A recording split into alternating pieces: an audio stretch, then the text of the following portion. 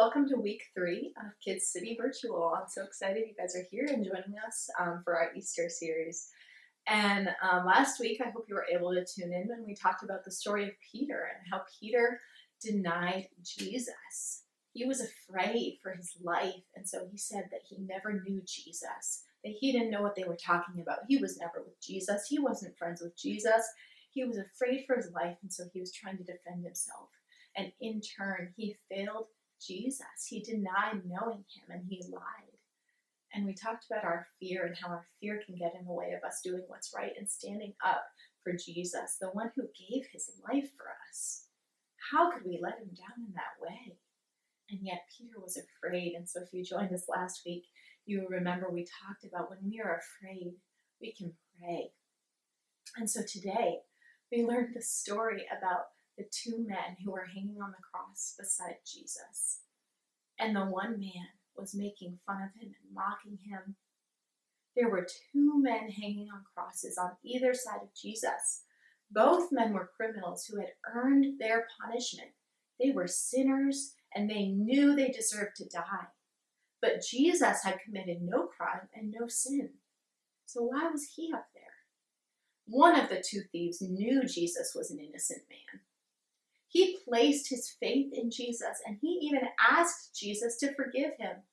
And Jesus made him a promise. He looked at him and he said, All right, see you in heaven. Right? He forgave him. and he said, Today you will be with me in paradise. Today you will be with me in heaven. The Bible tells us that all of us are sinners and that the punishment for sin is death. Jesus conquered both sin and death on the cross. And because he shed his blood for us, he can forgive our sins. The thief on the cross believed, and the blood of Jesus covered him, covered his sins, and he was forgiven because he placed his trust in Jesus. When we put our trust in Jesus, he can for- forgive our sins as well. In the Old Testament, God taught the children of Israel to make sacrifices to show that they were sorry for their sins. The Israelites would sacrifice lambs and goats and doves and other animals to ask for God's forgiveness. Now that seems silly to us now. Why would they have to do that? These sacrifices were acts of obedience, but none of them were enough to pay for all of the sins of God's people. When Jesus died on the cross, he became the final sacrifice for the sins of the whole world.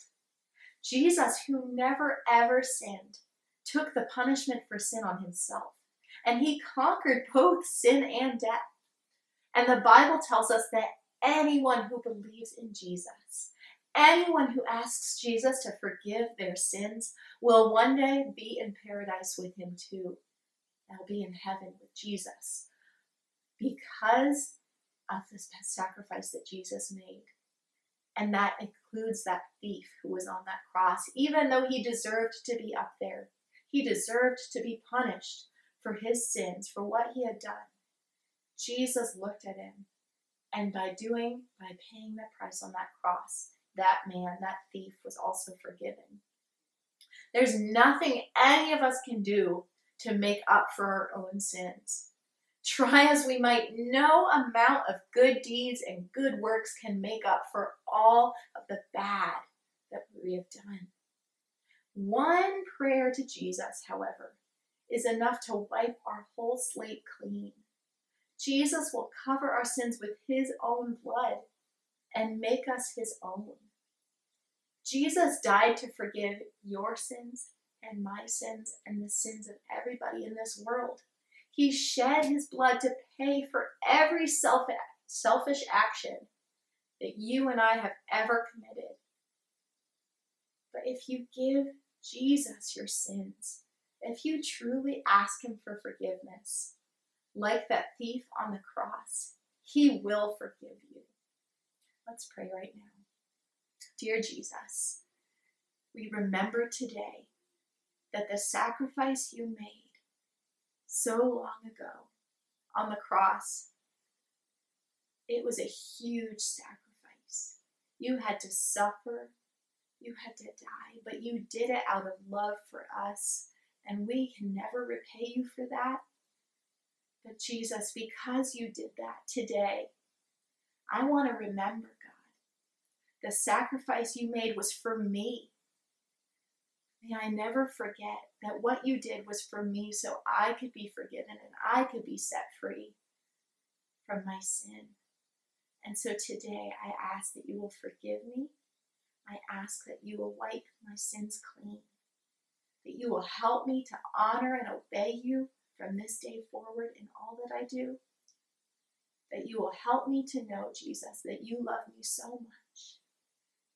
For God so loved the world, he sent his only Son, that whoever believes in him shall never die, but will have eternal life. And God, I look forward to eternal life with you because of the sacrifice you made for me on that cross. I love you in Jesus' name.